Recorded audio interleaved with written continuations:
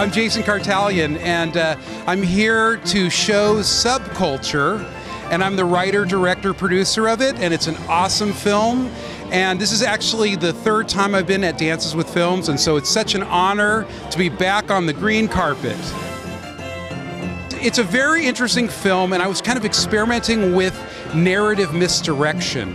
So it's very hard to not give away the story, but it, it, goes in one direction and it goes in a different direction, and it definitely takes the audience in a kind of an, an intellectual journey, a crazy ride.